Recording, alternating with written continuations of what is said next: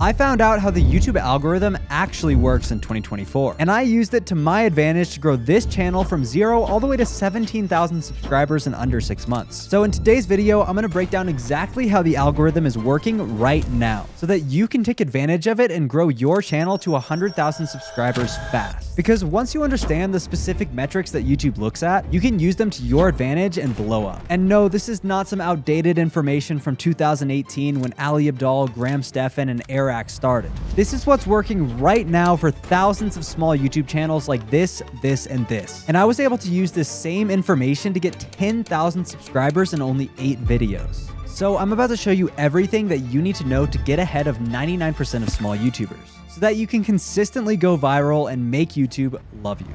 Now, the YouTube algorithm does have a ton of variables, but there are only three that actually matter. The first one is impressions. Impressions are essentially how many people are actually seeing your video. And as of now, there are nine levels to YouTube impressions. The first level is 0 to 100. The second is 100 to 1000. Third is 1000 to 10,000 and all the way up to level 9 which is a billion plus. For a video to reach level 6, 7, 8, and 9, it will need to perform well with a broad audience, meaning that it must be interesting to a lot of people. So naturally, a video about car rentals in Cairo, Egypt is not going to reach level 9 because there's simply not a billion people interested in that topic. But this video by Mr. Beast is interesting to 1 billion plus people, and that is exactly why it has hundreds of millions of views. But the goal is not always to get as many views as possible. You can still get hundreds of thousands of views in a niche that will never reach level 9, and that's completely okay. As long as you're in a niche that can bare minimum reach above level 5, you'll be able to blow up your YouTube channel and make it a full-time career. For example, I talk about YouTube growth, which caps out at around level 7 or 100 million impressions. I have never seen a video do better than that in my niche. But even though my niche is limited, I'm still able to pull tens or hundreds of thousands of views per video and make multiple six figures a year from the channel. Now that you understand your channel's potential, you have to understand that 99% of your videos will never reach the full potential. I went to VidSummit last year and Paddy Galloway said something that changed the way I thought about YouTube. Even if your market is big, your video will never be perfect meaning that you will only ever reach a portion of your total market. It is very unlikely that I will make a level 7 video even though my channel has the potential to reach level 7. Some will even be level 4 like this one, some will be level 5 like this one, and some will be level 6 like this one. But that's okay because they still get tens to hundreds of thousands of views. And if you get the next two metrics that we're going to talk about right, your videos can also be hitting these numbers. You see, no matter what niche your channel is in, every single video starts off on level 1. Let's say you start a new YouTube channel. You post a video. YouTube will push that video out to around 100 eyeballs to see if it's good enough to go to level 2 and so on. And this is what the view graph looks like as it passes through each level. As you can see, it starts off small and then once the algorithm decides that you passed each level,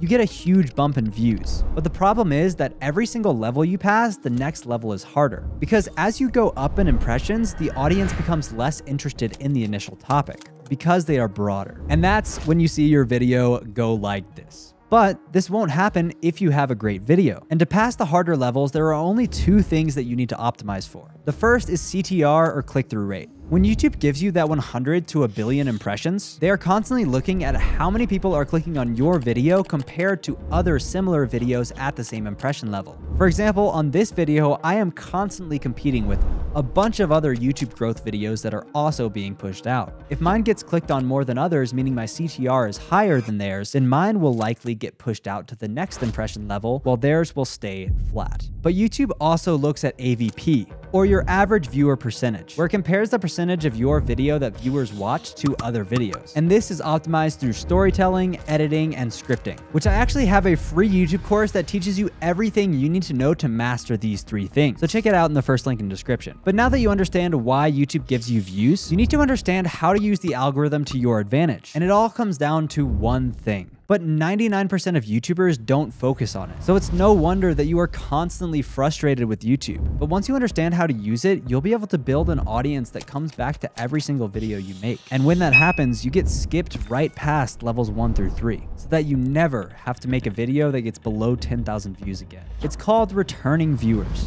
And to optimize your videos for returning viewers, you'll only have to take three simple steps. The first is simply having good videos, which if you take my free course, you'll know exactly how to do. Second is developing developing a consistent thumbnail style. This could be adding brand colors, fonts, or your face on the thumbnail, so that when viewers see your video on their homepage, they know exactly that it is you they are clicking on. With my channel, I like to do this with faceless thumbnails that all have a similar style. I use the same designer for every single one, and when you see my video on the homepage, you know that it's me. But if the viewer clicks on your video and it's not what they were expecting, they will likely click off. So the third step is to treat your channel like a TV show. If you make content about basketball, your audience is going to expect content about basketball. Where if you suddenly post a video about baseball, none of your audience is going to watch it. And that means that it will fail the levels test on YouTube and most likely never see the light of day. But if you consistently make content about the same topic in the same style with the same thumbnails, your viewers will return to watch over and over, meaning that you will have better stats and YouTube will push your video out to the higher levels because you are constantly beating your competition.